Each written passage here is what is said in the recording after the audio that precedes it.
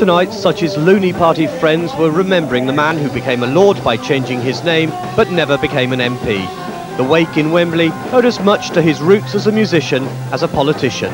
In Wembley, this is Simon Harris for London Tonight.